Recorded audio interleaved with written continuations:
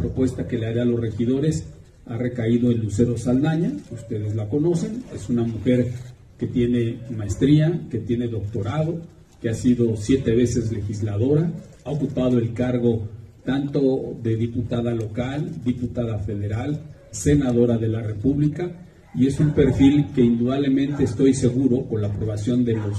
eh, integrantes del Cabildo, si así deciden aprobarla, pues llegará a abonar y aportar a este gobierno con su experiencia y por supuesto con todas sus capacidades. Entonces en ella ha recaído mi decisión de presentarlo al Pleno del Cabildo y espero que pueda contar con la aprobación de todos y cada uno de los integrantes del, Cabildo.